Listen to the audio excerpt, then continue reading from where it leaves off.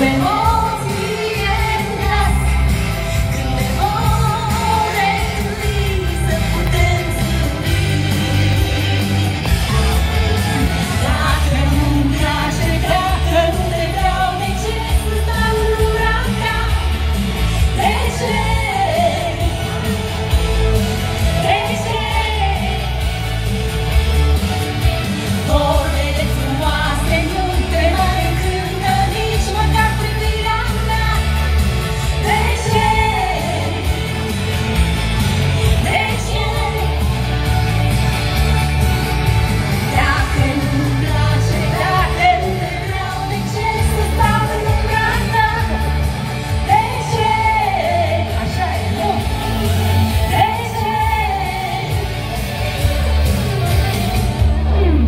ce oare?